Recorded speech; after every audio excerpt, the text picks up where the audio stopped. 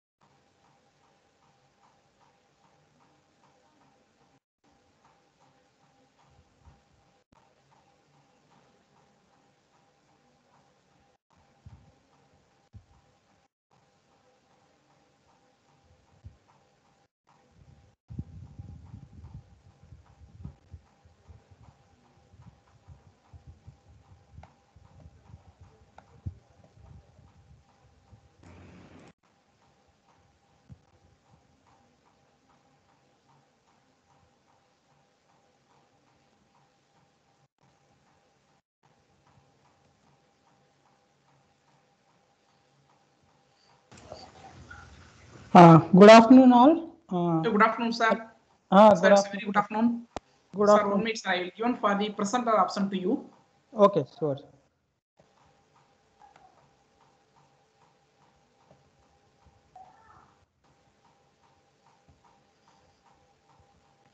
Sir, very good afternoon, sir. Already I gave for the presenter option to you. Okay, sure, sir. sure, to sir. share your PPT, we'll check them after then we'll start the class. Okay, I will Okay, try. sir. I will try. To do that.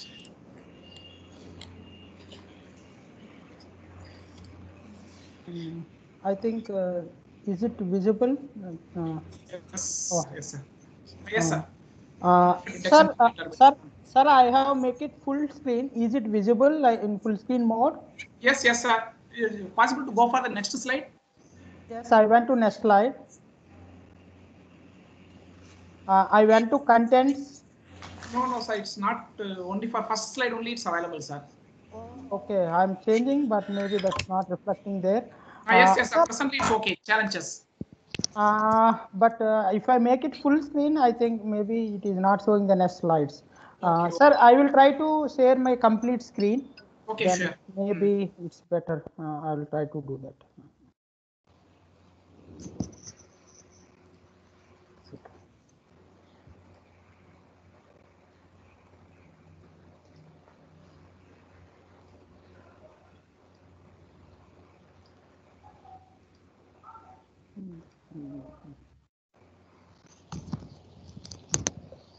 oh, maybe now complete desktop sir is it now full screen uh, right, going yes, for the next yes slide? yes sir Presently, it's the content is available it's going for the okay. next slide okay I okay it's to... a wind energy conversion system it's okay it's a very nice so okay. go to the slide uh, okay sir then... okay sir so i will start the program Ah, ah, if all of them are present, then we can start. Yes, yes, I will start the program already. It's having enough participants is there. Mm. Okay so- 35 participants are there that join within one or two minutes once we start the program. Okay, it's a very good afternoon, uh, Dr. Swami Naidu. First of all, I thank for accepting our inv- invitation and it's having link to given the lecture for our AICTE sponsored short-term training program. Uh, dear participants, today afternoon session, today is the second day. The afternoon session resource person is Dr. N.K. Swaminayad, assistant professor from IIT Varanasi. Uh, Mr. Magesh sir, please introduce today our resource person, Dr. N.K. Swaminaidu. Yeah, thank you, sir, Chairman, sir. So it is my privilege uh, to introduce our today's session speaker, Dr. N.K. Swaminaidu, Assistant Professor, Department of Electrical Engineering, IIT, Varanasi. So, sir has completed his graduation from NIT, uh, JNTU Hyderabad in the year of 2007 and sir has completed his master degree from NIT Kurukshetra in the year of 2009 and he completed his uh, doctoral degree from IIT Delhi in the year of 2014 and uh, sir has having the various uh, areas of uh, in electrical research work in the area of power electronics renewable energy integration to the grid smart grid power electronic drives power quality hybrid energy storage system. And sir has having the vast experience in the field of assistant professor in IIT BHU Varanasi from May 2018 and sir has a research scientist from Rolls-Royce at Nanyang Technological University Singapore from to July 2017 to April 2018 and sir has a research fellow in the same Nanyang Technological University Singapore from January 2015 to June 2017 and sir has published various reputed journals across the world in the area of uh, uh, that is uh, power electronics and renewable energy systems and smart grid technologies in reputed journals like uh, IEEE transactions on industrial informatics and uh, IEEE transactions on sustainable energy, IEEE transactions on industry applications, IEEE transactions on industry applications, IEEE IET power electronics, and uh, IEEE transactions on industry applications. And sir also published various, uh, presented various conferences, uh, uh, publications across the world in IEEE sector only. So this is the brief introduction about the Dr. MS MK, NK sir.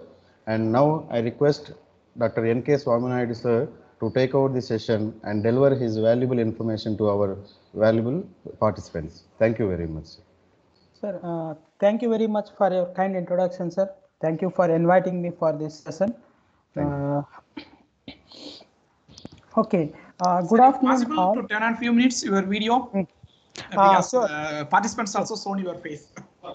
okay, sure, but This is normally it's a virtual mode. It's a- Just it's a five to 10 minutes enough. After that, you turn off your video. sure, sure, sure, sure. Maybe I don't know. It's No, visible. no, so it's the top right corner. Oh, yes, yes. Now I'm in home. Okay, it's no, no problem, sir. It's having. now in COVID time. It's okay. Uh, okay, sir. Just I will try to continue.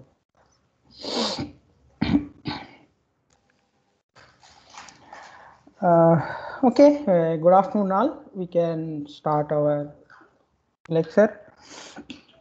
Today our topic of discussion is on doubly fed induction generator for wind energy conversion system. Uh, in this, uh, we want to discuss about uh, first of all introduction to wind energy conversion system. What is a wind energy conversion system and how are the uh, wind energy is converted into electrical energy and those things like mechanical and everything we will see first. Later, we will see about what are the different technologies to convert your wind energy to electrical energy. Later, after uh, over all these technologies, uh, maybe those technologies are depends upon the machine, which machine we are using. Later, we will go to the specifically our topic, which is DFIG. Uh, the name was written as DFIG, which means doubly fed induction generator. It's nothing but a wound rotor induction machine we are using. That we will uh, see it why the name is uh, given DFIG. Hmm, Later, uh, we will see what are the different, uh, what is the basic operation of this DFIG, uh, how we can achieve or convert this mechanical energy to electrical energy by using this. Uh, later, we will see uh, this DFIG, which is connected to the grid, and as well as in the standalone case. Standalone means like without connecting to the grid, if there are some local vendors or local consumers, power consumers, then we can supply power to them. Like if they are, if there is no power access to them, grid is very difficult to go in a remote area on the hills or somewhere, then maybe we can install this wind turbine for producing power to that. Something like this. Uh, we will see, uh, these are the overall view or overall contents of our presentation today, our discussion. In this first coming to the as I have discussed, first we will go for the wind energy conversion system. Uh, in this, this is the overall picture for this wind energy conversion system. In this, we are all know that uh, mechanical energy will be converted into electrical energy. These are the rotor uh, which has blades. I think uh, maybe we know with this how big the sizes will be. Like even if you see, uh, maybe if we talk in terms of uh, our power, maybe physically we all know. Maybe we have seen one or the other way. Maybe in the videos or in movies, wherever, everywhere we have seen already. We know, uh, but physically we know. But if we talk in terms of the power, like these are now going up to around 15 megawatt or something like this. These wind and wind turbines are available nowadays.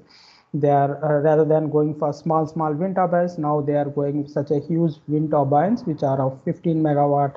I think it- latest i think when i was doing my phd my phd work is this on wind energy conversion system in IIT Delhi.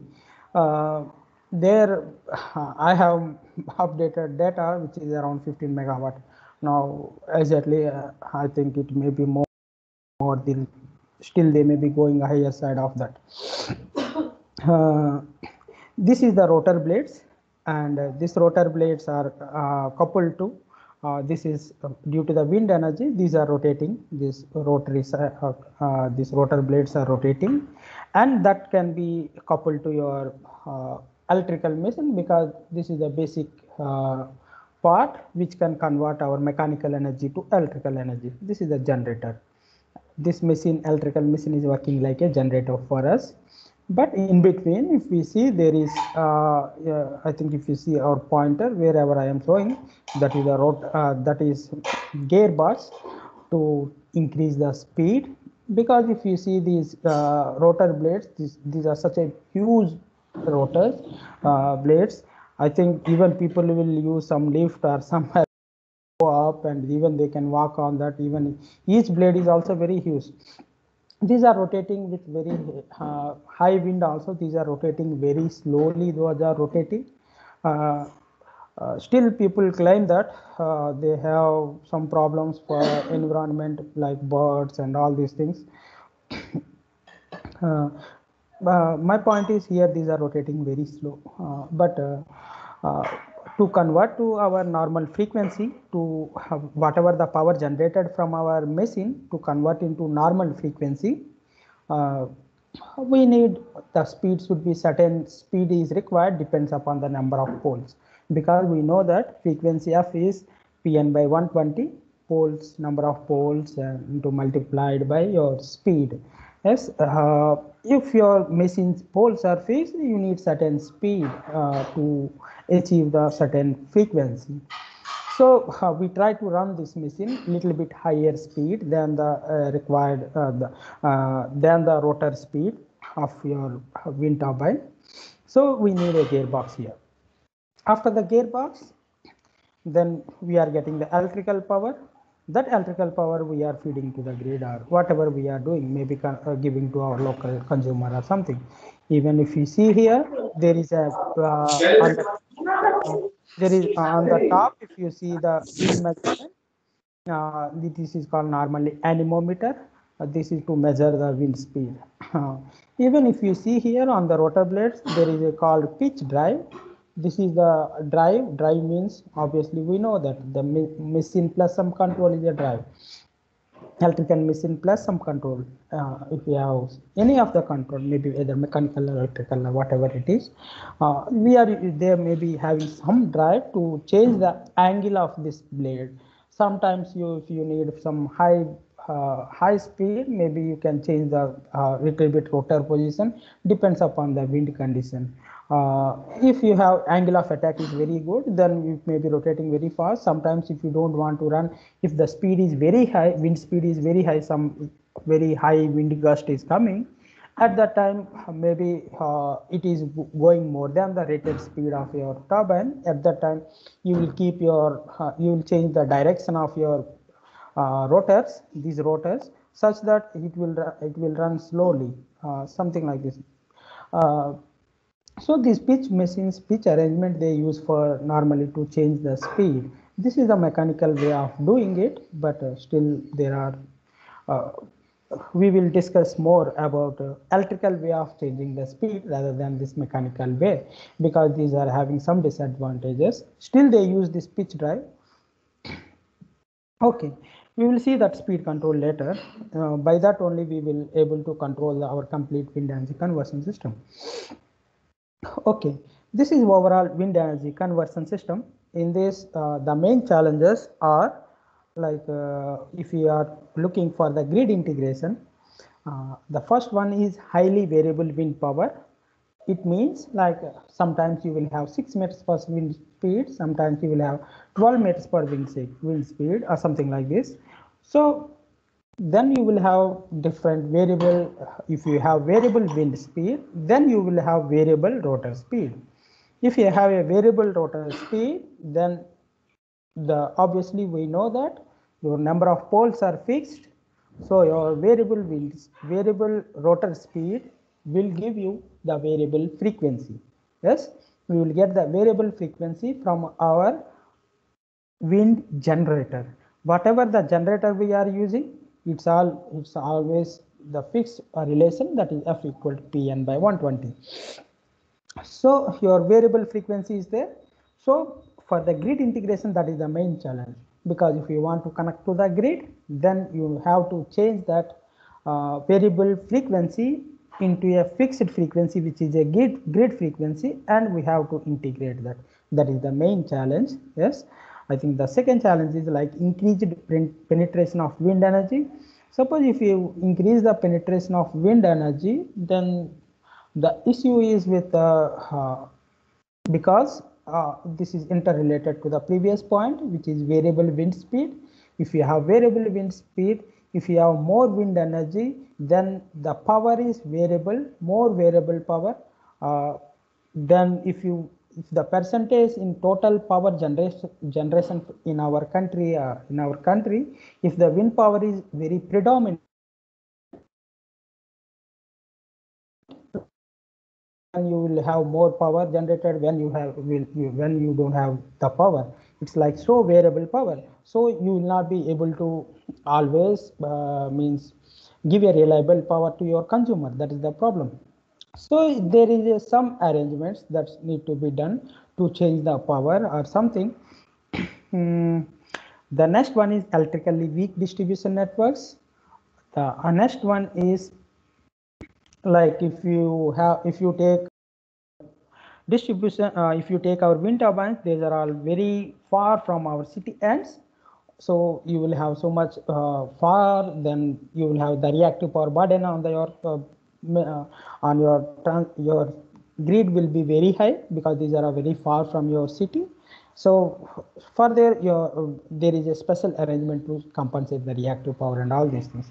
That is weak distribution networks and highly reactive power burden. It's also the same because uh, as I have mentioned, like uh, if you are using some induction machine or something like this, for that, even I have told you 15 megawatt machine. Like if you talk about, if you assume that is 0.8 is the power factor, then if you take the reactive power, the reactive power will be very, uh, it will be 8 megawatt, uh, 8 MVA or something like this. Is This is one wind turbine which I am talking about. Uh, but if you take a wind farm, you will have several number of wind turbines like this if you take a wind farm. So the overall burden, uh, the reactive power burden is very high. So we have to work rather than generating the power. Also uh, not only to generate the electrical uh, means active power and also we have to look for how to compensate the reactive power locally. So that you need not borrow or fetch such a high reactive power from the grid okay? So we have to uh, look for the even reactive power matter as well. That's also very uh, means significant because this is such a huge machines. These are all different challenges like if you are connecting a wind turbine to your grid. The first of all uh, if you see the wind turbine characteristics the y-axis is the power and x-axis is the wind speed uh, uh, speed this is maybe we can see it as a rotor speed and y-axis is the power. And these are the different curves for different wind speeds. The first curve on the top curve this wherever i am showing my pointer that is for 1.0 per unit if i assume maximum wind speed is 1.0 per unit this is the curve that is showing for 1.0 per unit. And the next curve is for 0.9 per unit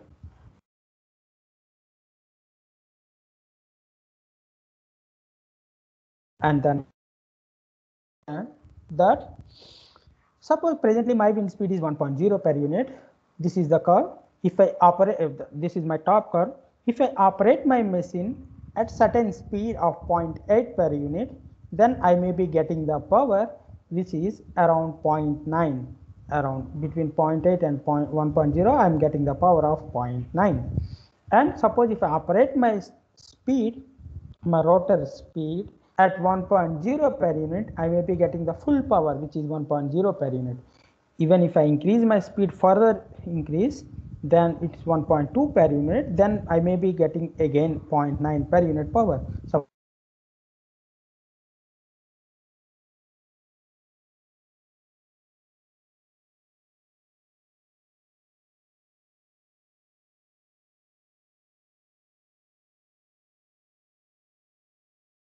operating wind speed even if you have the same wind speed but if you change the rotor speed of your generator you will get it means generator speed and uh, we have to understand that generator speed and wind turbine speed are same like same means there may be small ratio but both are uniform like they will follow the fixed proportion.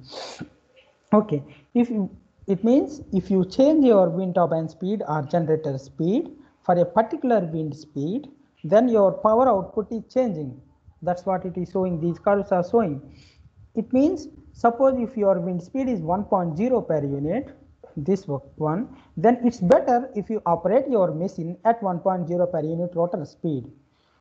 Suppose if your wind speed is around 0.6, uh, okay, uh, just one, once I want to confirm, am I audible proper? Just I'm getting looking like monology. Uh, someone of you please respond. Am I audible? Sir, it's yes, sir, it's uh, audible only. I yeah. audible. It's audible. Okay, good. Uh, I think some I'm getting some uh, uh something like any messages or something. Uh, that's why I got doubt. Someone is telling. Okay, okay, please. They are meeting. Okay. Mm. In this, uh, if you are going for different uh, Uh, I told you if you are at 1.0 per unit, then it's better if you operate at 1.0 per unit of your rotor speed so that you will get the maximum power that is available in the wind. Okay. Suppose if your wind speed is less, which may be around 0.7 per unit wind speed, then this is the curve I am showing. Then it's better you, you operate your machine at 0.7 per unit rotor speed rather than at 1.0 per unit. If you operate at 1.0 per unit, even for the machine uh, even at the wind 7 per unit, you will be getting the power at around 0.15 or something like this. Even though the power available is at 0.3 per unit, you may be getting very less power. It means for different wind speeds, you have to operate at different rotor speeds for achieving the maximum power which is available. Okay. Okay. We have to remember this point. Just because based on these points, we will try to control our machine. Okay. Uh, before that, I think uh, we we will uh, we want to see whatever the uh, the previous slide or before whatever we are discussing. Everything is uh, applicable to for all the wind energy conversion systems. We will try to uh, means classify these turbines. Like there are two types. The first one is variable speed wind turbines. The next one is fixed speed wind turbine. Maybe if you uh, remember our previous slide, the fixed speed means irrespective of your wind speed, irrespective of your wind speed, if you are operating at only at fixed speed, that is called fixed speed wind turbine. By that, maybe you can understand if you are operating at fixed speed irrespective of your rotors, uh, irrespective of your wind speed, then you are losing some of the power and you are not achieving the maximum power always. Okay it's better that if you change your wind speed, if your rotor speed is also changing, it means for your variable wind speed, your rotor speed should be variable. Okay, then you can achieve the maximum power out of it. Okay, by that, if you see that if you are operating at variable speeds for your variable wind speeds, that is called variable speed turbines, and even irrespective speeds if you are operating at a fixed speed that is called fixed speed turbines. Okay? This fixed speed turbines the first one is uh, the, like SCIG squirrel cage induction generator. Uh, if you are connecting normal squirrel cage induction machine to that that is called squirrel cage induction generator and in this variable speed wind turbines there are again two if you classify there are two types which is indirect drive it means without any gearbox Ah, sorry, indirect drive is with gearbox. Normally, most of the drives are with gearbox just because you want to match the speed to generate the to generate some high frequencies. Okay, in this again, if you further go down, um, wound rotor synchronous generator, PMSG means permanent magnet synchronous generator, SCIG means squirrel cage induction generator, DFIG is our, this is our topic of interest, which is doubly fed induction generator. Uh, all these are different machines. It means if you see the classification, it's like if you, uh, there are so many electrical machines with to convert from mechanical energy to electrical energy. We are classifying just based on that. Like rather than these, I think we have now so many uh, other special machines like permanent magnet brushless DC machines are there, like switch reluctance machines are there. We can connect any one of them. Okay, depends upon their applications. Obviously, we have to uh, look which one is uh, advantageous. Depends upon your size and everything. Okay, these are all different uh, classification with indirect gear drive. But if you come to the direct drive, it means there is no gear. It means your wind turbine is directly connected to your machine. It means by this we can understand that your machine is running very slow. Yes, very slow, but still it is okay. But there are some mechanisms to increase the frequencies by using maybe by using electrical way which may be converting from uh, low frequency to high frequency. Uh, AC to AC converters are there, maybe by using some intermediate DC link or otherwise some matrix converter or some of the so many applications, so many ways to convert from low frequencies to high frequencies by using our power electronics. Okay, converters. That's one option. The other option may be we can increase the number of poles but by increasing the number of poles there are this is not possible in all the machines uh, but there are some machines like if you take permanent magnet synchronous machine there there may be a possibility to increase the poles. Depends upon the machine size. Okay? There you can increase the number of poles and even at lesser speeds you can get the the required the frequency. Okay? I think now we understood uh, these wind energy conversion systems are so many uh, depends upon the which converter uh, which uh, machine we are using that is the first. Maybe we can tell depends upon the speed which, which is fixed speed or variable speed. Yes like that. There are so many classification. Out of which now we will go for DFIG double fed induction generator. Before that we want to discuss about this fixed speed wind turbines. If you see this this is a fixed speed wind turbine. This is our wind turbine and there is a gearbox to change the speed here. And this is squirrel cage induction generator. Forget about these three for a time being. Like we have connected directly this to your grid. We have connected that to grid. Now uh, for this uh, we know that this is a squirrel of course like a squirrel cage induction machine. We know to operate them as a generator what is the conditions? We know that like uh, you try to give the mechanical energy obviously for the generator. By using this wind turbine we are giving the mechanical energy. It means we are turning out turning it okay? We are rotating this machine. And also we are trying to make the speed which is more than your synchronous speed okay? Then this will go to the generation mode. And whatever the power generated that will be fed to your grid directly. It means here this is such a simple structure that here you don't need any power electronics. Just you try to make the speed more than your synchronous speed. Then the power will be generated obviously.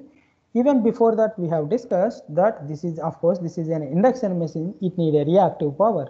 So for supplying that reactive power here we have connected the capacitors. Rather than taking it from the grid we try to connect the local capacitors here. So these local capacitors supply the reactive power to your machine. That is the first thing. And this is a soft starter which is used because if you directly connect a induction machine to the grid we know that in the starting what will happen to your current? Will you will get a high inrush current will be coming here. If such a high inrush current normally for even uh, we normally tell that even for the machines which are having 5 kilowatt or 6 kilowatt that is not desirable because that will be 3 to 4 times. But these machines are of 2 megawatt and 3 megawatt. It means the current will be in kiloamps uh, 1000 5000 10000 amps will be there. Then if you don't use any of the starting mechanism then it will be 5000 into 5 it will be 25000 amps or something like this. Very high inrush current will be the problem so we try to connect them slowly by using the soft starter mechanism. Okay uh, this is uh, if you see this overall this is very simple structure. It's very easy. Uh, that's why even uh, even in the modern uh, wind turbines uh, maybe nowadays people are not going for it but even if you see the wind turbines which are already working in that it may be 10 to 20 percentage maybe still they are working they are installed long back and still they are using it just because of their reliability like because you don't have any power electronic converters or those things uh, which are continuously converting from uh, fixed variable AC to fixed AC. Uh, their their lifetime is maybe after five years or ten years. If some of the switch power electronic switch is burnt or something like this, then you have to replace. There is a maintenance and everything. But here the, the maintenance part is very less, and also that with this squirrel cage machine, there is no brushes type of arrangement. So you don't need a proper uh, you don't need frequent maintenance also. That's also very uh, advantage. So uh, even these are still adjusting. Even we know that if we are operating at a fixed speed what is the problem? We are not able to achieve the full power which is available in the wind power wind wind. Okay? Still these are there that is disadvantage is we are not getting the maximum power. But advantage is like this is robust. Maintenance is less. That's the very good. Okay. Uh, this one we understood like fixed speed but coming to the the main advantage and disadvantage i think i already discussed but maybe at this point i have missed like there is high mechanical stress on the turbine components because you want to make your speed always a little bit more than your synchronous speed. Uh, for that maybe uh, there is a little bit arrangement is needed in, in terms of mechanical parts. For that maybe you need a, uh, a, gear arrangement is little bit there may be changing the gears two types of gears may be using. And again pitch i have told you before in the starting change the angle of your rotor uh, blades by that you can change the speed. These are all uh, like uh, you will have high mechanical stress. That's the main another problem. Okay. But if you see the advantages cheap low maintenance simple and low cost. This is very good. But uh, now coming to the variable speed wind turbines. Uh, in variable speed wind turbines previously also we have discussed that for variable wind speed we have to operate our machine at variable rotor speeds for achieving maximum power point this is if you see maximum power tracking so for that to find out the maximum power or to find out always at MPPT maximum power point, first we should know what is the wind speed. Because if you see this, uh, I am coming going back, like if you see these characteristics, these characteristics are wind turbine characteristics. This one, how you will get it? Like suppose if you are, if you want to install a wind turbine in any of the site, then you may be purchasing the wind turbine from some of the manufacturers like GE, Siemens, or some of them if you are uh, taking they are maybe they may be building from some of the vendors we don't know but uh, when whenever you are procuring the wind turbine that mechanical part then uh, they will provide you how the characteristics of those wind turbines exactly it means you will get this wind turbine characteristics from the wind turbine manufacturer so these uh, these characteristics you know but to operate at different speeds you should know what is the wind speed. If you know the wind speed is 1.0 per unit, then you will try to operate at 1.0 per unit. You should know that what is the wind speed, wind speed is 0.6 per unit, then you will try to operate your machine at 0.6 per inch. So here the requirement is you should know the wind speed, okay? Here you should know the what is the wind speed. Rotor speed obviously you need, then only you will understand either really you are operating at the correct speed or not that is it's like feedback uh, the rotor characteristics and generator characteristics these are nothing but your wind turbine characteristics are needed and generator characteristics are also needed for achieving this maximum power hmm. okay uh, okay uh, even uh, if someone has any doubt they can rise i don't have any issue even if someone rise in between okay Mm, this is if you see the real MPPT controller, uh, if you see the wind speed and uh, I'm telling you like if you know the wind speed, we have to decide at what rotor speed it should operate. That one maybe we are getting from by using the lookup table. Uh, in lookup table, we will prepare one small lookup table. If this is the input, that is the output. Like if my wind speed is 1.0 per unit, my rotor speed is 1.0 or something maybe different uh, wind turbines may have different type of different types of characteristics obviously if my wind speed is 0.5 meters per second then my rotor speed is 0.5 which is 0.5 per unit maybe around 750 rpm or something like this. Maybe uh, we will keep small if you have direct relation maybe we'll try to uh, keep them in a relation like any of the uh, square function or quadratic function any any function we can keep very simple equation or otherwise we try to keep a lookup table or then we can get it very easily. This rotor speed. If you get the rotor speed uh, how much is the rotor speed then actual rotor speed we can get it by using the uh, by getting for getting the rotor speed. I think there are so many methods we know like in our lab also we use simple one is tacho generator. But uh, that's not the uh, that's not the only way. Like we have different arrangements like uh, encoders which may be incremental or absolute encoders. Uh, and also Hall effect sensors are different type of mechanisms to uh, achieve this to get the speed okay after that these controllers maybe we will discuss that how you you try to make sure that uh, your ma machine is running at the desired speed Okay, uh, now we already understood that uh, we are operating at different speeds for different uh, wind speeds. We are operating different speed means different rotor speeds. Okay, different rotor speeds for different wind speeds. Okay, that we are making sure for achieving the maximum power. But the problem already we have discussed that if you are operating at different rotor speeds, obviously the frequency will be variable. Yes, it's not a uh, fixed speed, fixed frequency we are getting. Okay, so uh, variable frequency we are getting. So we need uh, some arrangement to make it fixed frequency and also fixed voltage. For that, here we are using two converters this is here if you see this is variable voltage variable frequency from there we are converting from AC to DC and from there we are using one more conversion which converts from DC to fixed voltage and fixed frequency which is the grid voltage and grid frequency. So this arrangement is just to make AC to DC and DC to AC to convert your to match your grid frequency. Okay, now we need two conversions which are which is called AC to DC converter and DC to AC converter. Maybe this is normally say rectifier and this is the inverter.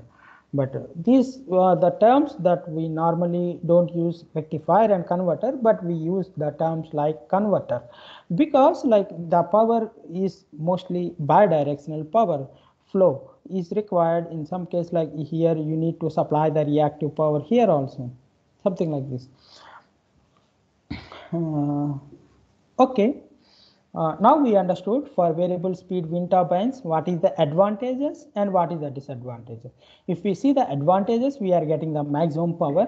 Whatever the power available, we can achieve the full power. We can convert the fully mechanical, the full mechanical power into electrical power. But the, the disadvantage, if we see here, there are two converters we have to use. Uh, okay, to convert AC to DC and DC to AC we are getting some extra cost obviously. Uh, but uh, there is a profit of getting the more power output. But uh, if you see the for fixed speed wind turbine there is no converters. We are directly feeding to the grid. Okay this is squirrel cage induction machine. Uh, obviously we know that squirrel cage induction machine that the problem here is to to supply the reactive power where we will get the reactive power. Obviously, this converter, which is near to your machine, has to supply the required reactive power to your machine. Okay. We don't want to take the reactive power from the grid. Okay, the next case is like if you see here, the only difference here is PMSG. I have written PMSG means permanent magnet synchronous generator.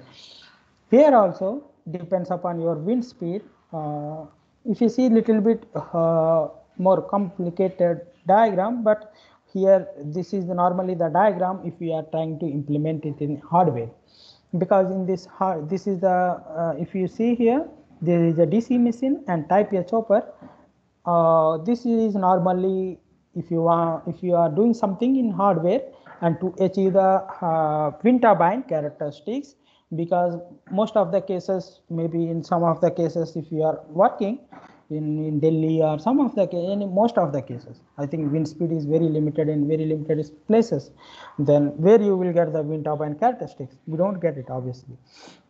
Even if you install wind turbine it don't rotate.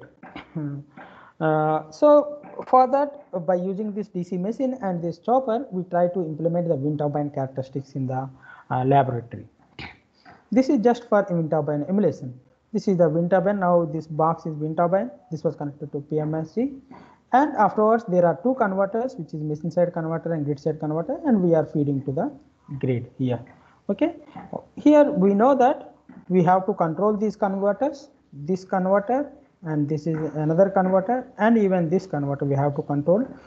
There is some, there are different processes for controlling that by using any of the process we have to generate the firing pulses and we have to give to this uh, um, converters. That's all.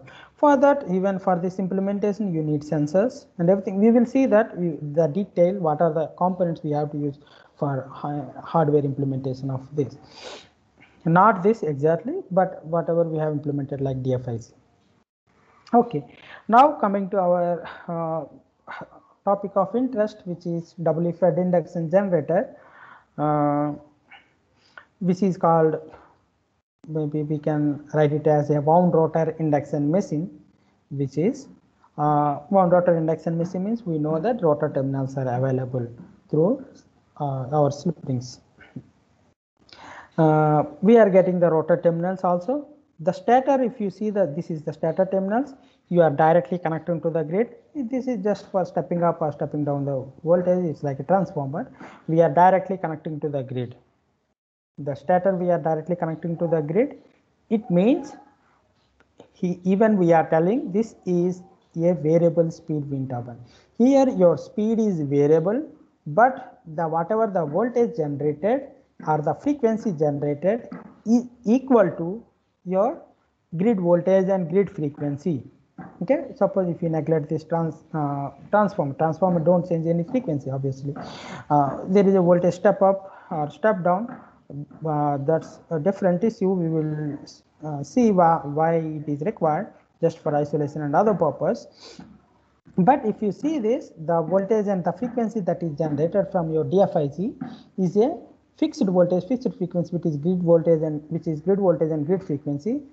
Even our wind turbines P is variable.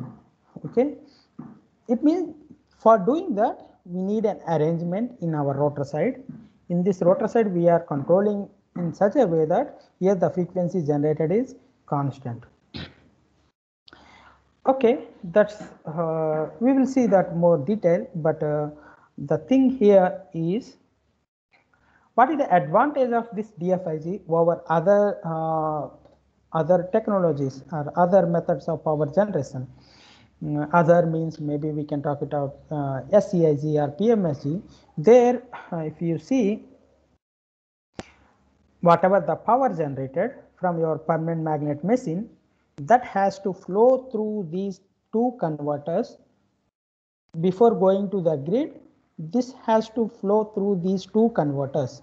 It means suppose if your machine is 15 megawatt machine then the whole 15 megawatt has to flow through this converter. It means the converter rating is minimum 15 megawatt. Now i am telling in crude way like uh, i'm uh, giving the uh, means power rating in terms of megawatt but normally we take it as an MVA or something volt ampere. This is 15 megawatt. And even this converter rating is also minimum. It should be capable to transfer the power of 15 megawatt. Okay, so if your machine is suppose 1 per unit the power then this is 1 per unit and this is per, uh, 1 per unit. So total 2 per unit power is 2 per unit power electronic converters are needed for you Okay, but here if you see the those converters are not connected in stator, but these are connected in the rotor.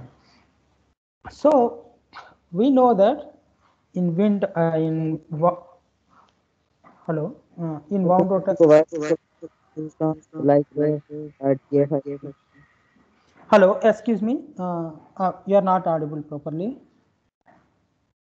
Sir, can you provide the full form of uh, uh, those term like uh, DFIG? can uh, we provide MPPT? Yes, yes, yes. This is variable speed wind turbine. Here we are doing MPPT. Only in the starting one, whatever I have discussed, that is only the uh, fixed speed, but this is variable speed. We can able to get the variable speeds means we can able to get the MPPT. MPPT means we we have we should understand that it's a variable speed. Okay. Here I am telling this is a variable speed wind turbine.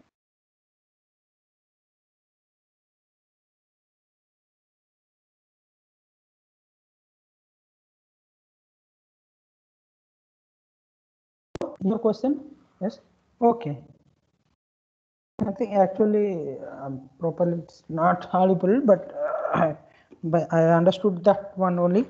Uh, okay. Uh, okay. This one uh, now uh, rather than connecting in the stator now we have connected our converters in the rotor in the rotor means we know that how much is the rotor power in a wound rotor induction machine. If your air gap power is PG, gap power is PG, uh, then what will be your rotor power? S times your PG. It means slip times your air gap power. Okay, it's slip times your air gap power. But for that, what is the slip? If we see what is the slip in this case, the slip is normally the this variable speed range is between 70 percentage of your synchronous speed to 130 percentage of your synchronous speed. It means only in this range this machine we, have we normally operate. Why? Because it's not necessary to go very high speeds or very low speeds. Because if you see our power, power uh, in wind turbine, if you see power is a function of your wind speed cube. P is pro proportional to omega cube. Like your, suppose if you are uh, 70 percent is, then the power is, uh, it means 70 percent means 0.7 per unit. Then uh, your rotor speed, then your mhm, power is 0.7 whole cube which is 0.7 into 0.7 into 0.7 which is around 0.3 0.3 is the power and your rotor speed is 0.7 and if you go for uh, higher side which is 130 percentage it is 1.3 per unit is the rotor speed. Then what is the power? 1.3 whole cube is the power. It means 1.3 into 1.3 into 1.3 which is 2 times. It means if you are changing your speed from 0.7 per unit to 1.3 per unit the power you are getting the variable power which is 0.3 per unit to 2 per unit. It means suppose if you make 2 per unit is the base from 2 per unit to 1 per unit you are getting. It means suppose if you make from change the base from 2 per unit to 1 per unit then you may be getting the power from 1.0 per unit to 0.3 by 2 it means 0.15 it means you are getting the full range of power just by changing your speed from 70 percentage to 130 percentage. If you go further down i think uh, 0.1 per unit power for achieving uh, you are lost with only 1.5 times per unit power. But for that if you increase your wind turbine rating your if you increase your wind uh, means rotor speed range little bit more your slip will increase. If you increase the slip i told you before if you increase the slip the problem is your converter rating will increase because your converter rating is slip times your air gap power. So uh, maybe uh, you if you follow this it's okay otherwise but uh, your operating speed range is between 70 percentage to 130 percentage. It means your slip is if that is 70 percentage it is slip is 0.3 if that is 130 percent slip is minus 0.3 it means your slip range is plus or minus 0.3 okay? In this case your slip is plus or minus 0.3 so what is the power that is handled by the converters? Which is 0.3 yes? Which is 0.3 times uh, it means slip times air gap power your air gap power is 1 per unit it means 0.3 per unit so here the converter rating these two this is 0.3 per unit and this is 0.3 per unit here the but in the previous case if you take those converter ratings are 1 per unit and 1 per unit. If your power generated is 1 per unit, those converter ratings should be 1 per unit. But here, if your converter, if your machine is generating 1 per unit, but your converter rating is 0.3 per unit only. That is the main advantage. Here, with less converter rating, which is power electronics converter converters, with less power electronics converter rating, you are able to receive more power. So, your um, the capital cost will be reduced. That too, handling less powers is more easier. That is the first thing we can tell. Like uh, if you are going for high powers, the problem is like insulation and everything. You will get so many, so much problem, and also the sensing techniques is the problem. Everything is the problem. But here we are operating. In addition to that power, if you see the voltage, the voltage is also slip times voltage. Suppose if your machine is around 11 kV machine, but here if you see uh, slip times your voltage, 11 kV into 0.3, it is around 400 volts. Uh, 0.11 into 0.3 means around 330, 330 volts. Okay, hmm, it's like uh, uh, maybe 3.3 kV or something, whatever it is. Uh, the voltage is slip times the voltage, so this voltage is also less, and the power is also less. So the converters normally if you take the converters how it will break down your voltage is more than your reverse braking voltage then the there is a problem of this is uh, uh, means uh, breakdown of your converters or your device, power electronic device. So it's uh, you are operating as less voltage and less power. So these are more safe to handle, and also the capital cost is also less. That is the advantage of this. In addition, I will uh, tell you like one more thing previously i told you some figures like for one per unit you have to you should have 0.3 per unit of this power electronic converters but if you see in true sense uh, like suppose my mechanical power coming from wind turbine is 1.3 per unit if you assume 1.3 per unit then 1 per unit is going from your stator and 0.3 per unit is coming from the rotor and this 0.3 per unit is also going through this and this is total power is feeding to the grid. It means to power how much we are feeding to the grid if you see this is 1 per unit from the stator and 0.3 per unit from the rotor and the po- total power coming from the mechanical side is 1.3 per unit. But in the true sense if you see with help of 0.3 per unit with the help of 0.3 per unit power electronic converter, we are able to feed the power which is 1.3 per unit, which is previously whatever we told the calculation. It's not exactly the 1 per unit. We will be able to feed power up to 1.3 per unit to our grid with the help of 0.3 per unit converter making. Okay. Uh, that's why these are having uh, more advantages and uh, so people have used it over very long time like uh, if you see this the advantages the last one if you see maximum market share currently in future we don't know what will happen.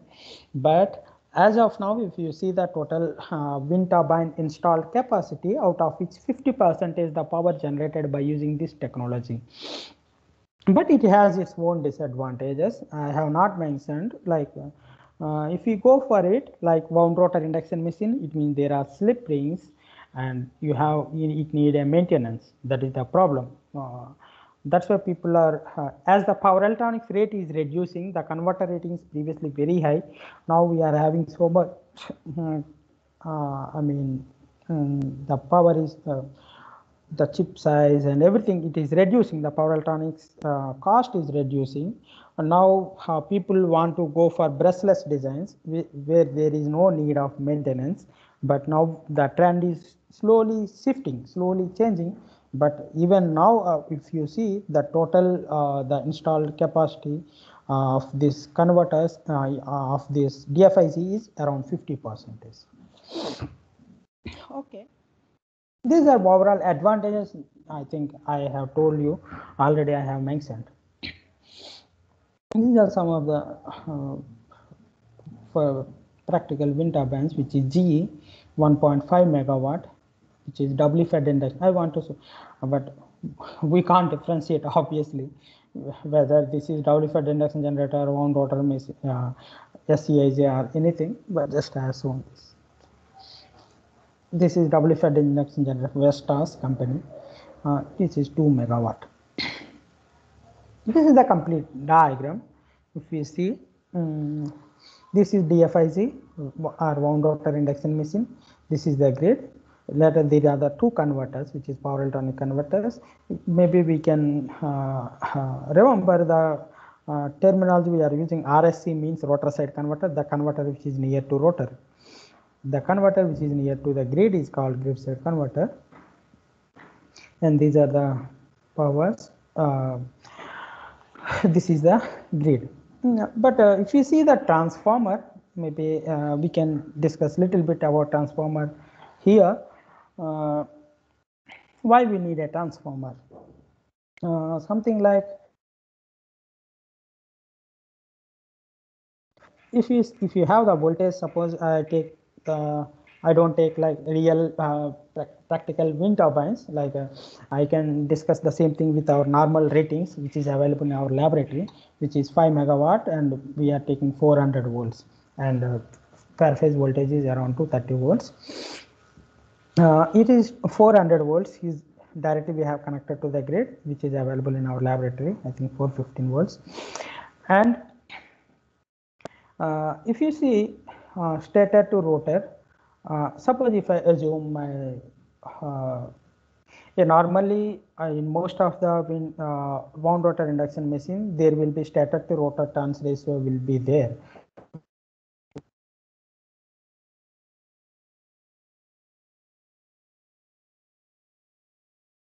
in which I have worked, which is 2 is to 1. It's like stator ratio is 2 and rotor ratio is 1. Here uh, already the voltage is reduced from 400 to if I take 400, 200 already came. From this 200 again the slip times your voltage. For the maximum case slip is 0.3 uh, for maximum power case. So already 0.3 into 200 which is 60 volts. Here the rotor side the voltage is 60 volts. Okay, uh, this is 400 volts 400 by 2 200 200 into 0.3 which is 60 volts. Here you are getting 60 volts. And so uh, here the uh, the DC link voltage is very less. Uh, afterwards here again the voltage if you see on the stator side which is 400 so there is a difference between these two voltages to match that here we need a uh, transformer. Yes here the voltage is 400 here the voltage is 60 volts. 60 volts here maybe if you want we can increase the voltage uh, with uh, the modulation index may be very less. It's okay. Suppose if i don't have if i don't use the transformer i don't use transformer then the same 400 volts is coming here then my dc link voltage will be obviously more than the peak. I think we all know that uh, the DC link voltage will be more than the peak because here you need a bidirectional power flow so if this voltage is less, then this diode bridge rectifier will all, this is a bidirectional converter. So there is diode bridge rectifier and there is a power flow. Uh, if you make it uh, more than your DC link voltage, uh, more than your peak voltage, then it is possible to do the bidirectional power flow. I think uh, if you see the Ned Mohan book in that he has given like uh, what is the minimum DC link voltage that is required to make a bidirectional power flow in this uh, the voltage will be around 650 something like this. If you take 400 volts that is link voltage is 650 maybe we will see this in the next also how to design this link voltage. Uh, this from here you, here the voltage required is 60 volts. From 650 volts to 60 volts if you want to convert the modulation index will be less. Okay uh, there will be some problem in modulation index we understand. But whatever the voltage here DC link voltage is there uh, here by using this power electronic converters how the DC will be converted into AC you have to use this 650 volts for getting 60 volts. It means this 650 volts you will apply for less time and most of the time you have to it means the duty ratio will be less. 650 volts you will apply for very less time and most of the time you have to left it idle yes? So by this uh, maybe we will get the less voltage it's okay. But the problem is you are applying 650 volts the DC link directly across your rotor winding. That may create problem to your rotor. So it's better if you have less voltage in the uh, uh, uh less voltage in the DC link. Maybe you if you see the RMS obviously that is 60 volts but instantaneous voltage if you see that is 650 volts you are applying across your rotor which is uh, capable of having very less voltage rating. That will create the problem to your rotor windings. That is the problem. Okay? I think you understood this. If you see the the main principle of operation maybe we may be uh, more uh, means confused like uh, how this stator is directly connected to the grid and still if you have variable speed how we are getting the uh, variable speed how we are getting the constant voltage and constant frequency here that everything the main magic or control is in this rotor side converter. The rotor side converter is responsible for everything like to achieve maximum power point and also to achieve the constant voltage, constant frequency across your stator. Okay, the frequency of grid voltage is always constant. So the stator frequency is also constant irrespective of the wind speed. Uh, by using this converter, the control of rotor currents, it is possible to adjust the active and reactive power fed to the grid. It means what it is mentioning. By controlling the rotor currents here, we can control the active and reactive power which is transferred from your machine to the grid. We can control this active and reactive power by controlling the rotor currents. Okay, uh, we know that rotor currents we can control it, but uh, all the control mechanisms, if we see most all of them, we will do it in uh, uh, DQ frame. DQ frame means direct axis and quadrature axis frame rather than doing it in ABC frame. Uh, because here the control will be easier just because you want to control active and reactive power here you want to control active and reactive power here by using our DQ frame we can control an active and reactive powers independently okay suppose if you are doing it in ABC frame normally uh, if you take induction machine there will be two windings we know which are 120 degrees apart obviously. And uh, there will be a mutual uh, uh, linkage linkage we can tell like between a and b b and c and everything. And even if you try to uh, take the equivalent circuit also it is more difficult if you do it in uh, if you do it in ABC frame because we have to consider everything there is a, a linkage and linkage between one frame to another frame. But if you try to do it in DQ frame the linkage of D frame is not there on the Q frame so it will be easier to do it. And in the same way even if you can control our active and reactive powers by controlling D and Q axis because the linkage will not be there between that. And also hmm, if you see this we all know that this is wound rotor induction machine of course. Uh, so it need a reactive power. We try to not to take the reactive power from the grid. So we have to supply the reactive power from our rotor side converter. If you supply our reactive power from our rotor side converter the required reactive power is given from the rotor side converter. So it won't take any reactive power from the grid suppose if you uh, if you control or if you little bit reduce the reactive power uh, command from your rotor side converter by using some of the uh, reactive power command if you reduce it then it won't be keep quiet. What the required reactive power will be taken from the grid. Suppose if you don't give it from the your rotor side converter it will take the full reactive power from the grid. Okay now it's our responsibility to supply the react required reactive power from the rotor side converter so that there will not be any burden on the grid. Okay. Uh, previously i told you like uh, by controlling the rotor currents we can control the active and reactive powers. We will see that later uh, by small relation. Maybe I, I don't know whether you can uh, at the uh, at present you can understand it not but i will try to show the uh, some equation for that how we can do it Hmm. Uh, we will see uh, how we can mm, actually uh, select the Sorry DC the disturbance. If you want to take five minutes break, Uh, it's okay. I will have some water. You people Yes, yes, yes, can yes. also.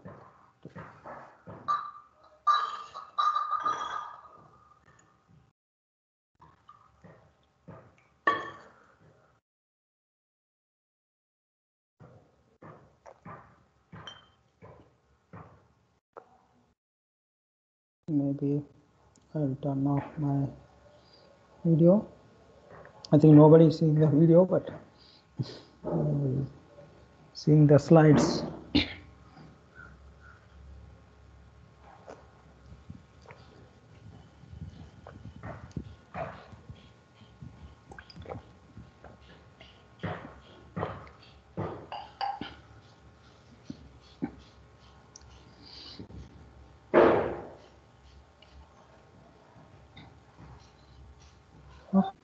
Okay, we can. okay, I can resume. All of you are okay? Uh, are you all taking some break? It's, I think it's not needed, sir. They take take their own time. yeah, that's not in our control. Yes, yes. okay. Okay, sir, you continue. Mm, mm, mm, mm. Okay. Uh, here, uh, if you want to design our con this, I came back to this slide just to tell you what we have to design in this. If you want to design a uh, doubly fed induction generator, in this we have to design what is the uh, inductor because the voltage which we are getting here is PWM voltage because we are using PWM converter pulse width modulated converter because this voltage and this current is very smooth. But this one you will have to use some filter to make your voltage and current a little bit smoother. Uh, this is to filter out your harmonics in the current. And normally we use some some people we use LC filter as well to filter out the voltage also but uh, we have to design what is the inductor that is required the first thing. And also how much is the DC link voltage? I think we know that for selecting this DC link voltage we should know what is the voltage this side and what is the voltage on the rotor side. What is the voltage on the grid side and what is the voltage on the rotor side. From there we can we have to decide properly so that uh, there there is always a bidirectional power flow and the third one is what is the converter ready? We have to select. These are the three things we have to decide. Because the rest everything i think there is nothing. Like uh, uh, all of them are missing and everything. Already this machine we have selected depends upon your wind turbine rating. What is the maximum power we are getting? Uh, if you see here like the DC link voltage if we see for this DC link voltage we should know uh, I already mentioned for selecting this DC link voltage we should know what is the rotor voltage. Previously also I, have, I already um, mentioned before like this voltage is 60 volts. For 400 volts I assume 2 is to 1 in the stator to rotor so 200 and 30 percent is the slip so 460 volts. And if you see from the uh, stator side like this voltage is maybe if you use star delta transformer and 2 is to 1 here this voltage we have to uh, calculate from the GSC side if you see um, uh, uh, I think uh, GSC side the line voltage near GSC side is here uh, 115 volts by considering the star delta transformer with 2 is to 1 uh, so with GSC side 115 volts on the other side it is 60 volts. So from there we can calculate by using this formula and how much is the DC voltage.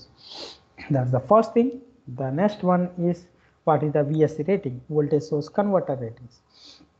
If you see the converter ratings, we already we mentioned like this rotor side converter is responsible for supplying the reactive power, required reactive power for the machine. Okay, now this converter rating, if you want to select, which is volt ampere, what is the power the active power we know that. Whatever the power rating of your machine and 30 percentage of that is your active power. And reactive power is the reactive power that is required for your machine. Uh, by using an active power and reactive power we can calculate the uh, what is the kVA rating or MVA rating of our converter. For this GSC of course we know don't need to supply the reactive power to the uh, rotor. But if there is any required reactive power supplied to the grid due to because this may be at very far end there is a uh, these are very far the some feeders are coming then maybe there is a uh, required there is some requirement of reactive power and for that feeders maybe then we can use this grid side converter to supply the reactive power to that feeders uh, by that depends upon your LVRT, that is low voltage ride through is the some terms they use those are the grid codes or grid structures. Uh, depends upon that we can select this grid side converter. These are uh, I think uh, the same thing I have explained here. Uh, the AC interfacing inductor, if you see, the interfacing inductor is like um, we have to select depends upon your um, what is the current. We should know how much is the current flowing that we will get it because like uh, the power we can calculate we know that slip times your air gap power is rotor power the same power is flowing. From using that power and voltage we can calculate it what is power by root 3 voltage will give you the current. If you know the current by using that current we can calculate v equal to ldi by dt by using that formula maybe we can calculate what is the or by using some of the safety factors calculate the inductor bit okay hmm, those we understood that how we can select those parameters but because these are very much important because if you don't properly select these parameters if you uh, then uh, your converter may not work uh, just because your DC link voltage is very crucial if you keep less than that then it won't work. That is the problem. And also if you don't select proper inductance then there will be more ripple and you don't follow the grid code uh, like which is uh, THD requirement may be little bit higher then that may be one more problem. So you have to select them very uh, effectively by using the parameters coming to the control of these two converters, I think I have already mentioned the nomenclature. RSC means rotor side converter, GSC means grid side converter. The rotor side converter is responsible for controlling the torque and flux of the machine. Flux means we are supplying the reactive power to the machine. We are we are told, and also we have we will be able to control the torque. Torque means the active power. We will be able to control the active power the C, if you see that active and reactive power flow of the machine, we are controlling by using this RSC and also responsible for MPPT. MPPT means maximum power point. It means we have to change the speed. How we change the speed? I'm always, I think I, I mentioned 15 to 20 times like we have to change the speed, we have to change the speed. But how we are changing the speed by using this converter? If you are changing the speed by using gearbox or by using pitch arrangement, we can understand clearly like that we can change the speed. But by using this rotor side converter, how we can change the speed? That's we can change the speed just because everything is uh, it's like mechanical and it's everything is power balance here. If suppose we know that the input power is phase, some mechanical power is coming and you are producing less electrical power out of it. You are producing less electrical power out of it. There is a inverse so mechanical power it means mechanical torque is more and your output power is less which is electrical power uh, maybe low torque we can tell which is less then your speed will go up. We know that tm minus tl equal to jd omega by dt it means we can change the speed by changing the active power okay? If we the active power i told you before the active and reactive powers we can control by controlling the rotor currents. By changing the rotor currents we can change the power. By changing the power we can change the torque. By changing the torque we can change the speed okay? Just you uh, if you try to it's obvious that if you uh, there's something is going on if you keep more burden on that obviously it will slow down. If you are make it if you, uh, that is if you run if it is running on no load it means if you are not taking out more power from to the grid obviously it will go faster. Obviously it's something like this. Here uh, your electrical power is in your control. By changing your electrical power you are changing the speed. That's the uh, means uh, basic uh, uh, means what is called basic thing in controlling the speed the other thing is GSC, grid side converter. If you see in the grid side converter, you have to maintain the DC link voltage. That is, here people normally mention maintain the DC link voltage. Maintain the, what you mean by maintain the DC link voltage? If you maintain the DC link voltage means whatever the power input is coming, if we are giving the same power output, obviously your DC link voltage will be maintained. Yes, suppose there is a capacitor, you are giving more charge on this then obviously the voltage will increase. Okay, suppose how much is the charge coming in, you are giving the same charge out, then your voltage will be maintained. Yes, it means whatever the power input is there, you are just carrying, you are making sure that the same power is going out. It means uh, if you see here, like in this, the DC link voltage you are maintaining, whatever the power coming here, you are you are pumping back the pumping not back you are pumping forward the same power to the grid. It means you are maintaining the dc link voltage means by using this converter whatever the power is coming just you are giving to the grid ensure upf operation it means like whatever the required reactive power if you give then that will be in unity power factor this is somewhat i told you before like how to control your uh, uh, uh, active and reactive power by controlling the rotor currents. If you see, uh, maybe you follow or I don't know, but I'll try to see. Maybe you can uh, little bit read more about this. This is the flux, which is LS IDS plus in uh, this is in do D direct axis in quadrature axis. These are the equations for your uh, flux in uh, your induction machine modeling. LS is LLS plus LM. This is self and this is a mutual. And the power equation, maybe we write it in DQ components. Active power P is 3 by 2 VDS IDS plus VQSI. Suppose if you have an ABC frame, the power if you see like VIA plus VBIB plus VCIC, that we can write it more clearly, instantaneous power. But if you write it in DQ terms like VDS IDS plus VQSI, QS 3 by 2. The reactive power QS is 3 by 2 into VQS IDS minus VDS IQS. This is the reactive power. Here, uh, uh, the frames, uh, whatever I am telling DQ frame, uh, here in all the machines, you have the flexibility to align your machine, uh, align your frame, sorry, not your machine, align your frame either to your voltage or to your flux. Suppose if you are aligning to your voltage, then your VDS will be full voltage and your VQS will be zero. But suppose if you are aligning to your flux, then your uh, VDS will be zero and VQS will be there. Here I try to align to the voltage. So your VQS will be zero, the whole voltage will be VDS. Okay, your VQS will be zero.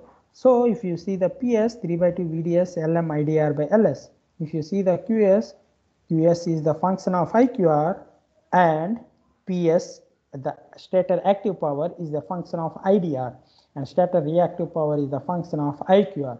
It means by controlling your by controlling your IDR, you can control your active power. By controlling your IQR, IQR means rotor Q axis reactive, rotor Q axis current.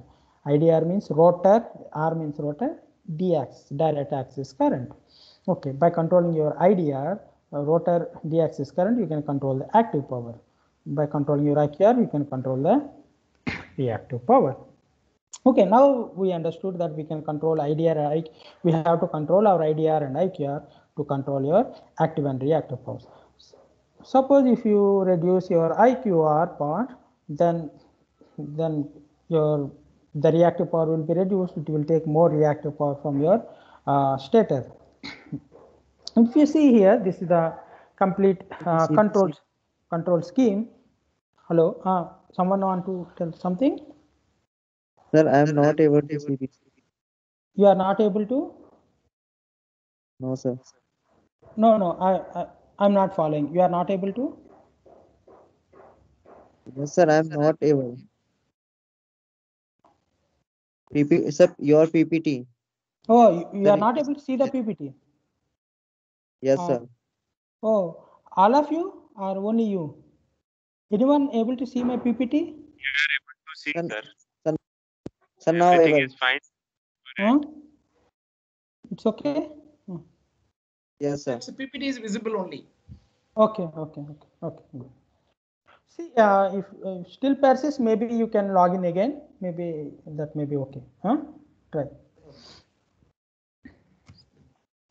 Okay, this is the complete control scheme. Uh, I think uh, maybe I will end in 15 20 minutes. Is it okay? Or uh, uh, maybe I try to finish it in 15 minutes. I think maybe I became too slow today, somewhat. Uh,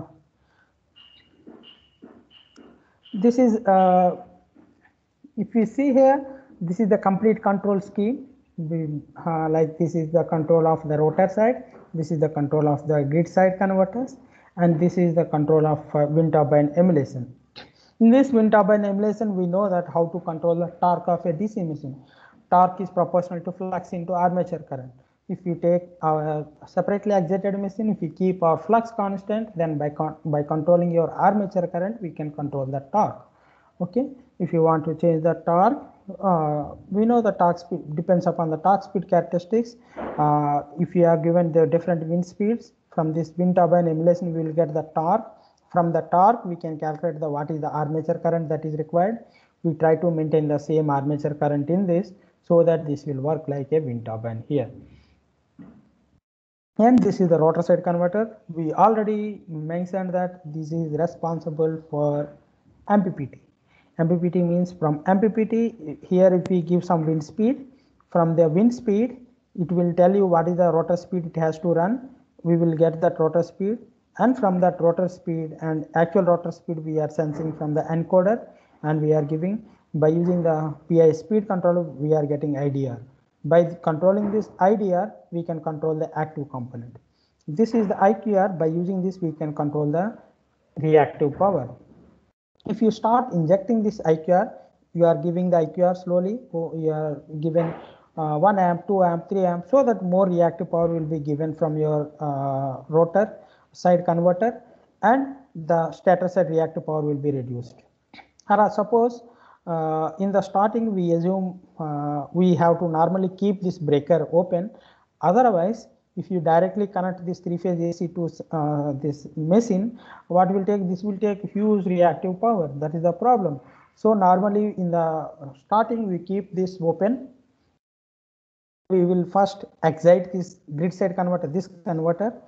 Then you try to maintain the DC link voltage here by using this control loops. You are maintaining the DC link loop and this is VT means uh, here the terminal voltage controller maybe for supplying the reactive power but I don't tell this is so effective in maintaining the voltage uh, because your series elements are more good which is your dynamic voltage restorer or series controllers uh, but this can do little bit this is the voltage controller and from there here you try to maintain the DC link voltage. Afterwards you excite this machine and by using this machine you try to uh, uh, start injecting this IQR. So what will happen? This will give IQR to your machine. So it will uh, take it will you will get reactive power to your machine. So it will start building the voltage. It will the voltage will come. Mm, you will make sure that this voltage is equal to your grid voltage. Then you will turn on the switch. So that here this uh, this voltage here you are getting the rated voltage means rated voltage means we have supplied the required reactive power already from your rotor side converter. Now even if you connect this it won't take any reactive power from the machine uh, from the grid sorry from the grid. Then you have connected then uh, you first you try to make this voltage equal to your grid voltage by using this IQR controller. Later now you try to start this uh, active power controller. Now you turn on this active power controller. By using this active power controller, now you uh, go into means uh, it start feeding the active power to uh, the grid. Depends upon your wind turbine characteristics. Okay. These are the uh, simulation results. Like uh, if you are operating at less your wind speed is less around 8.5 or something like this at that time your rotor speed is uh, around 0.9 um, per unit. And if you see the grid power you are feeding to the power to the grid is around 2 kilowatt. And uh, if you see the power your uh, to the grid reactive power is almost zero but if you see if you see at more than 9.2 meters per second wind speed uh, at that time your rotor speed is uh, synchronous speed which is 1.0 per unit at that time if you see the rotor currents these are all dc even in the before case if you see these are stator currents this is uh, grid currents, these are stator currents, GSC currents, these are rotor currents. This frequency, if you see, this is very less. Rotor frequency slip times your stator frequency. Here, if you see your stator, your slip is zero, you are operating at synchronous speed. So your rotor currents are always almost DC. Your frequency is zero. And the power you are feeding to the grid is 2.5 kilowatt. And now your wind speed is around 10.5. Depends upon your wind speed, your speed has to be changed. I told previously it has worked in 9.2, uh, 1.0 per unit it has worked. Now it is working at 1.2 per unit speed. For this, now your grid, now you are trying to feed more power, which is 4 kilowatt. You are getting. As the wind speed is increasing, obviously the power feeding to the grid should increase. This is the hardware that uh, developed in IIT Delhi. Uh, this is a DC machine which was coupled to uh, chop, uh, means coupled to wound rotor induction machine. This is DFIG and this is the encoder. Maybe I shown wrong. This is the coupling and on the top, the small part is the encoder. And uh, uh, this is the chopper to control your DC machine uh, to emulate the wind turbine characteristics. And these are the inductors. Maybe you, you feel like these are very big, but uh, this is variable inductor. It means you can get it like 1 millihenry, 2 millihenry, eh, whatever depends upon the taps. You will get the different inductances. You can get it. Uh, because this is lab purpose, uh, different people need different inductance values. So we try to make this variable inductances. And this is the transformer. And these are the two converters, which is grid side converter, and, and this is rotor side converter, and this is the grid side converter, power alternate converters. These are different sensors. If you see the current sensors and voltage sensors are there, and this is the again chopper. This is power alternate converter. This is the dSPACE, which is the again controller uh, to control digital signal processor, which can control the whole setup. These are the different power supplies to give to the uh, sensors and everything. Hmm. These are the some of the hardware results. Like if you are operating at 10.8 meters per second wind speed, you will get the rotor speed. Uh, it will run at 1774 RPM, and these are the different voltage and currents uh, we are feeding to the grid. This is the voltage, and this is the current of the grid. This is the current stator. This is the voltage and current of your grid side converter. Uh, these are A, B, C frames, uh, A, B, C uh, uh, phases. Sorry. This is the power that uh, we are feeding to the grid, like 3.08 kilowatt power is feeding to the grid. Okay, these are the total harmonic distortion. And if you see here, this is the stator power, this is the grid power, and this is the, our uh, uh, the power in the rotor side. This is one more at uh, another wind speed, which is 9.2 meters per second wind speed. This is the uh, here as the speed is less, uh, wind speed is less, the power we are feeding to the grid is also less, which is 1.73 kilowatt. Sorry to disturb, sir. Uh-huh. It is uh, uh, moving, sir. Yeah, now it's moving. Okay, okay, maybe I okay. I'm okay. Uh, It is results, not- uh, I can see that is not uh, the, at the time the PPTs are not moving. Okay, okay. the- Uh, maybe I think there is some unbalance in my uh, small table. Okay, okay. Now it's okay. Hmm. Okay, this is the uh, power. Uh, one more thing, I think maybe I forgot to mention that uh, uh, if you are changing from below synchronous speed to above synchronous speed, it means subsynchronous to supersynchronous, then your power direction will change. In supersynchronous, your slip is negative, and in subsynchronous speed, your slip is positive. So in subsynchronous speed, uh, you may be giving power to your rotor but in supersynchronous speed, you are getting the power from both your stator and well as well as from the rotor. The power in the rotor side will be reversed if you are going from subsynchronous speed to supersynchronous speed. Uh, maybe uh, that we can see in the simulation also the powers wherever we are showing there you can see that here also if you see the power is here reverse minus 346 at subsynchronous speed the power is negative uh, these are uh, again uh, whatever I have shown before. Those are steady state results uh, at our, at one stable wind speed we have shown. But uh, here, if you see, these are the uh, results for different wind speeds. Uh, like here, we try to change the wind speed. and we try to capture whether it is working or not. Now, if we are changing the wind speed from maybe 8 meters per second to 10.8 or something, change the wind speed. The first one is VW is the wind speed, 10 meters per second per division. Then obviously we know that if you change the wind speed, the rotor speed has to be changed for, for getting the maximum power. This is the reference speed we are getting from our lookup table. This is the reference rotor speed. And afterwards, there is a speed controller.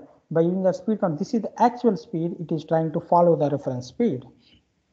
And uh, this is uh, our act, uh, stator power, the power from the stator. This is slowly increasing. This is the base for this 4. It means the power is increasing for the from the stator. More power is generating as the wind speed increases, obviously. This is stator power is increasing. Grid side converter power, I told this will be reversed. Yes, in the rotor side, GSC means grid side converter and rotor side converter power is same. In rotor side converter, the uh, uh, it means we didn't keep any sensors for the uh, sensing. Yes, here we have sensors for our grid side converter uh, voltages and currents. So here uh, we calc uh, means calculated the grid side power, grid side converter power, which is rotor power. Obviously, it is changing its direction, which is negative before, and later it has become for the positive. This is the PC, uh, which is um, the power that is feeding to the grid. It is also increasing with the increase in wind speed and this is the QZ, this is reactive power at the grid, which is zero. We try to maintain the reactive power. Okay, uh, these are uh, something like previously I shown in powers, but if you see these are the currents. This is stator current, this is grid side converter current, this is the grid current. The grid current is increasing with the increase in wind speed. And this is the rotor currents the rotor currents as we have mentioned like these are uh, at different frequencies which is at slip frequencies but at wind this is exactly the uh, synchronous speed at that time the phase sequence is changing from abc to bsc or abc to, uh, the phase sequence is reversing actually. Because your voltage is phase uh, grid voltage is phased and your current is changing its phase sequence so that the power will be getting reversed.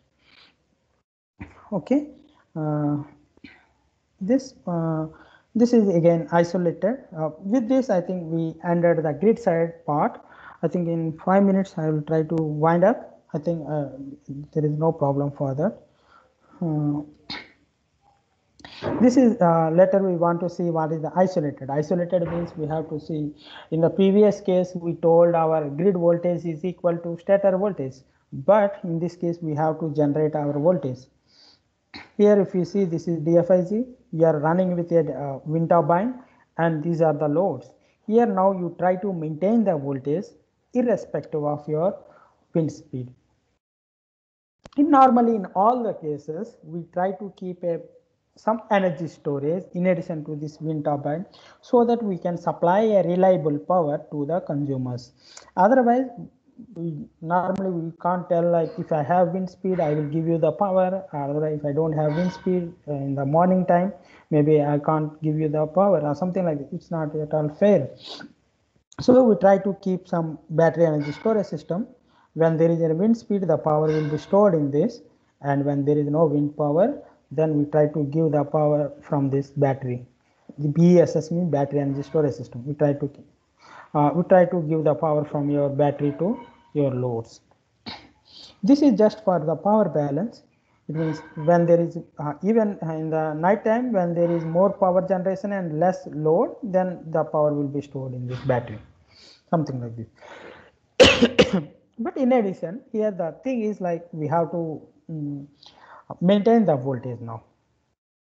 Here we have to maintain the voltage and frequency proper otherwise the devices may be it may create problem to the connected devices in the consumer home this is uh, complete control scheme that uh, this is uh, the again wind turbine emulation and this is the two converters control we are doing here we have to maintain the voltage here we are maintaining the voltage by using this converter here previously also i told you if you give your iq if you start giving your IQ, the voltage will be increased.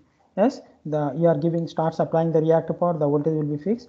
And by using that, previously your IQR is uh, if you are there is a difference, it will start taking the reactive power, but there is no variation in the voltage because your grid voltage is fixed. But in this case, if you there is a variation in the IQR, then there is a variation in the voltage. So you want to maintain this voltage. Sorry, here you want to maintain the voltage. So you kept some PI controller to maintain the voltage always, irrespective of the load. It means suppose if you keep a some load, I will show the uh, means results later. If you keep some sudden load or something, then your uh, induction machine load, single phase induction machine load, it may draw some high reactive power from your uh, DFIG. At that time, the voltage may drop. At that time, you have to properly design the controllers. Uh, this is to maintain the uh, here voltage and also here we are always operating at MPPT. Suppose if we assume there is no battery, then what will happen? We have to, then we can't operate at maximum power. It, then what we have to do? Whatever the required load is there, we have to generate that much power only. Okay. Suppose if you don't have sufficient power from your uh, wind energy, then you have to curtail some of the loads or you have to uh, set it, uh, setting some loads, you have to remove some of the loads. Okay, but forget about that. Here we are uh, thinking with battery only. Okay, with battery, this one we are trying to operate always at maximum power and we are trying to get the maximum power. And if there is any surplus power we are trying to save uh, save in this battery. Okay. This is to just for uh, this will work like an active filter. If there are any harmonics in the load it will try to supply the harmonics by using this converter so that the stator will not take any uh, the stator current is pure sinusoidal if you think what is the problem like if if the harmonics are there in the stator this is such a huge machine if you are having the harmonics then there is a problem in the then the sorry just i want to have some water. Hold for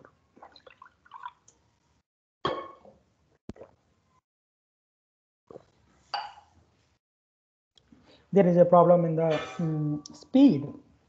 So you have to uh, you try to make this stator current sinusoidal we will see that if you see this this is the load voltage and load current. This is non-linear current 1.92 kilowatt and this is the stator. Stator side if you see the volt current that is pure sinusoidal because your load side converter is giving the power uh, harmonics. This is supplying this type of harmonic so that your stator current is always sinusoidal these are different again THD total harmonic distortion this is load load. This is stat uh, this is uh, your stator current THD even the low THD 27 your stator is not burdened to supply this harmonics.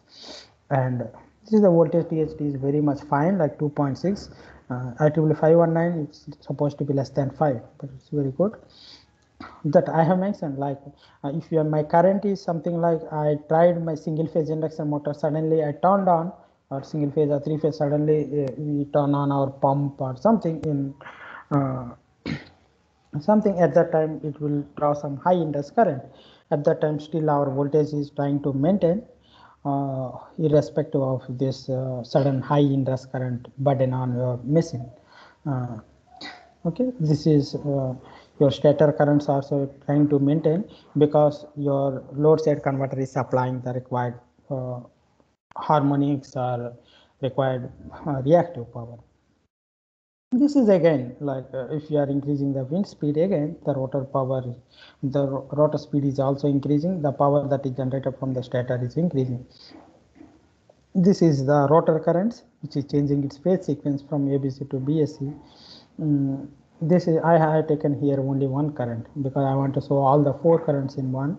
So this is the battery current that is getting reversed because if you are uh, your load is fixed and if you are if your wind speed is increasing you are getting more power. If you are getting more power means now your previously battery is also supplying some power. Now if you are getting more power more power from your stator then what will happen? Now your battery need not supply the power to your load, but you can give some excess power also to your battery. Okay, here if you see the power is getting reversed here. Hmm, that's all here from my side. Uh, if you have any questions, I will be most happy to answer. Uh, Participants, uh, you can unmute and you can ask the questions to this.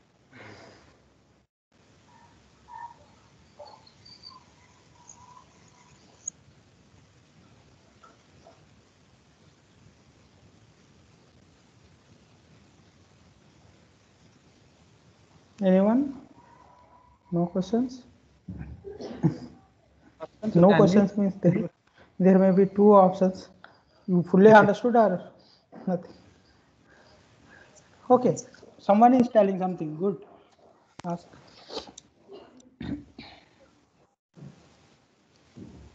Thank you, sir. Thank you, Swaminaidu sir. It's a very nice and excellent presentation. I think this work is related to your PhD maybe.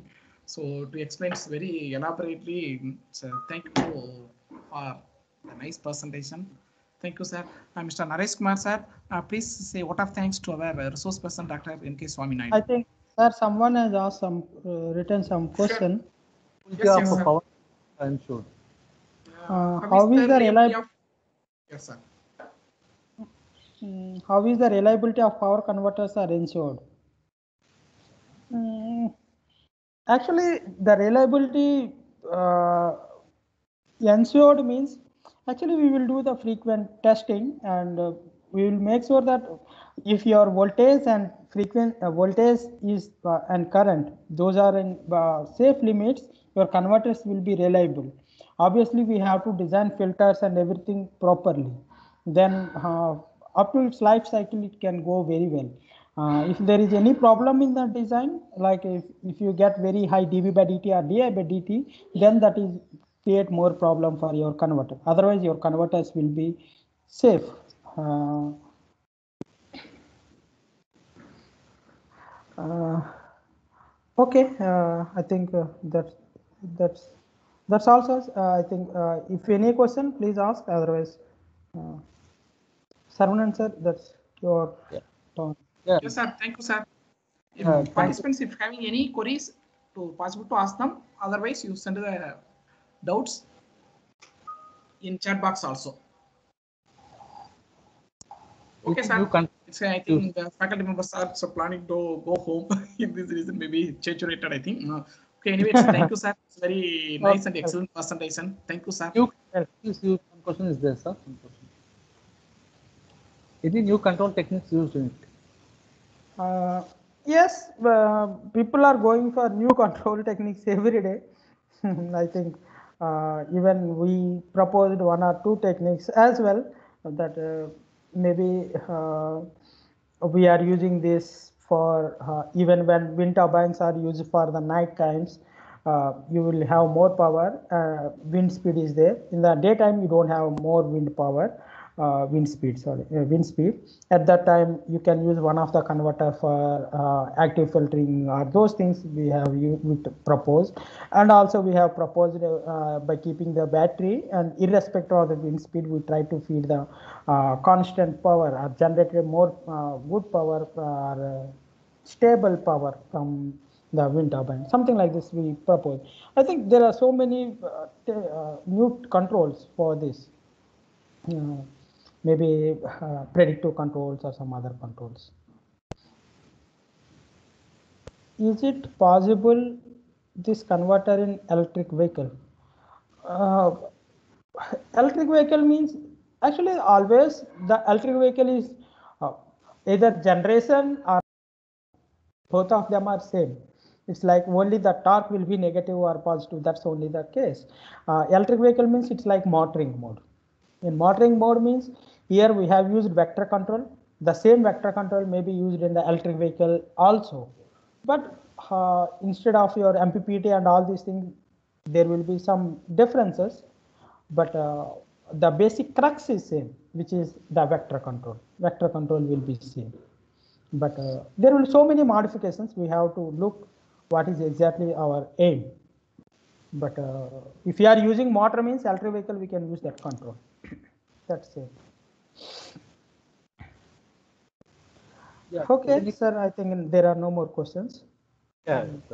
Uh, Thank you, sir, for your uh, valuable lecture on uh, uh, basic uh, wind wind energy conversion systems and uh, advantages of uh, DFIG over other export topologies and uh, integration of grid connectivity of DFIG and uh, the standalone system for supplying the nonlinear loads and the discussion on the results. So thank you, sir. It is a very good lecture for the upcoming research for the participants. Thank you, sir. Thank you very much for your feedback. Okay, sir. Uh, think anything? Okay, sir. Uh, uh, Thank you, sir. Swaminaidu. ah, Sir, thank you so very much. thank you, sir. Thank you. Thank. I'm leaving. Thank you, sir. Good.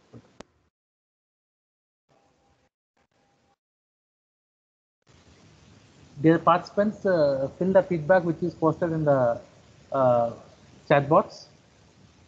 It will be enabled up to 4:30 p.m.